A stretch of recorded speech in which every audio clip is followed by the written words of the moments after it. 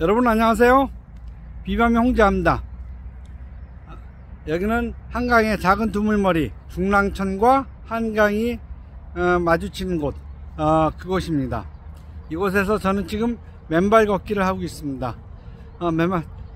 여기 와서는 제가 맨발로 걸으면서 맨발로 이렇게 해서 어, 걷는다기보다는 이렇게 뭐랄까 두리번 어슬렁거리면서 어, 책이나 그런 책 쓰는 거나 아니면 사업 구상을 하고 그러는데 어, 지금 저의 저의 그 맨발 걷기의 사회학 이제 원고를 다 써서 어, 출판사에 넘겼습니다. 출판사에 넘겼는데요. 그러면서 그 제가 맨발 걷기에 대한 왜 맨발 걷기가 한국 사회에서 이렇게 유행을 할까? 그리고 건강의 대세로 되었을까 했을 때 두 분을 말씀드리죠. 어, 개족산의 종래 회장님하고 대모산의 박동창 회장님. 지난번에 그 종래 회장님한테 대해서는 어, 얘기를 했고요.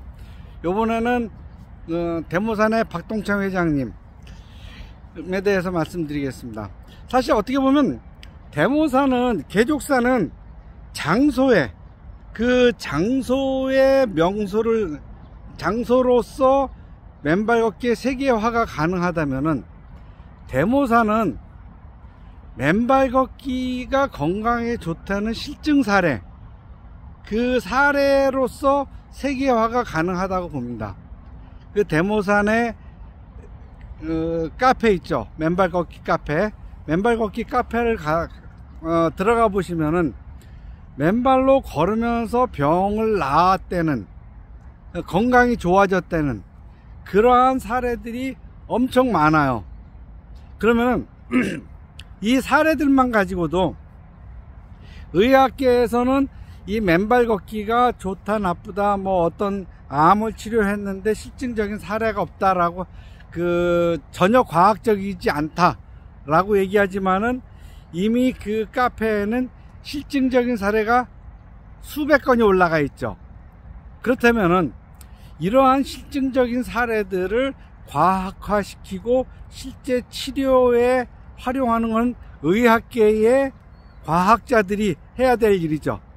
의학계의 과학자들이 이 수많은 사례를 무시하면서 맨발 걷기가 건강에 좋다. 그리고 실질적으로 각종 질병을 낳는, 낳았다라는 것을 무시한다면은 그건 과학자로서의 어떤 그, 어, 뭘까, 의무랄까? 할 일을 안 하는 거죠. 왜냐면, 어떠한 사실을 증명할 때 저는 세 가지가 있다고 봅니다. 하나는 시간의 검증을 거 치는 것, 두 번째는 그 사례의 검증을 거치는 것, 그리고 셋째는 과학적인 검증을 거치는 것. 그런데 대모산의 맨발 걷기에는 이 사례의 검증을 거친 맨발 걷기가 건강에 좋다는 사례의 검증을 거친 것이 굉장히 많죠. 그렇기 때문에 이것이 비과학적이라고 얘기하는 것은 그것을 실증을 이 비과학적인 것을 증명을 안 거쳤다 뿐이죠. 왜? 그것을 경험한 사람들은 과학자들이 아니거든요. 그것이 이렇게 수많은 사례가 있으면 그것을 증명할 의무는 누가 있어요? 의학자들, 과학자들이 있는 겁니다. 그들은 그러한 어, 자신들이 해야 될 일을 도외시하면서 어, 비과학적이라고 얘기하는 거죠. 그건 아니죠. 왜? 아까도 말씀드린 것처럼 과학적인 그 검증을 거치는 것, 시간의 검증, 그리고 사례의 검증, 그리고 과학적인 실험의 검증, 실험으로서 할 수 있는 것. 이런 이 세 가지인데 사례가 많고 이미 십몇 년간 수많은 사람들이 그걸 했잖아요. 그렇기 때문에 데모사는 그러한 그 사례를 실증적인 사례가 너무 많습니다. 그렇기 때문에 데모산의 그 카페 맨발 걷기 카페만 어, 카페가 그러한 그 경험 그러니까 신앙으로 얘기하면 간증하는 분들이 모이는 그리고 이것을 실제로 많은 사람들한테 얘기해 줄 수 있는 그러한 성지가 될 수 있다고 생각합니다. 그렇다면은 이 데모산에서 많은 사람들이 모여갖고 그러한 사례들을 이야기하면서 그 확산시키는 그러한 아주 좋은 곳이라고 생각합니다. 거기다가 그 데모사는 이 맨발 걷기를 야, 검증하고 사회화시키는 그러한 역할을 굉장히 잘하고 있습니다. 물론 이제 거기에는 이제 박동창 회장님이 주도적인 역할을 하셨죠.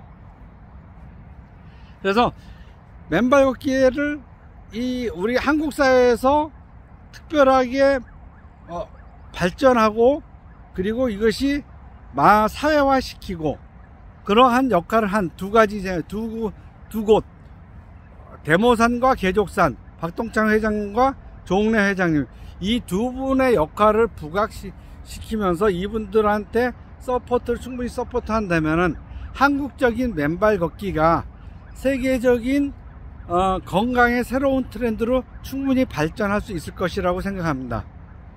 아, 그러한 내용들을 어, 저의 맨발 걷기의 사회학 거기에서 좀 더 자세하게 설명하였습니다. 책이 나오는 대로 이제 편집에 거, 들어갔으니까 책이 나오는 대로 여러, 여러분들한테 좀 더 자세하게 소개하고 어, 이제부터는 그 책의 내용을 어, 조세, 한국경제와 조세일보 그리고 불교신문에 연재를 하려고 합니다.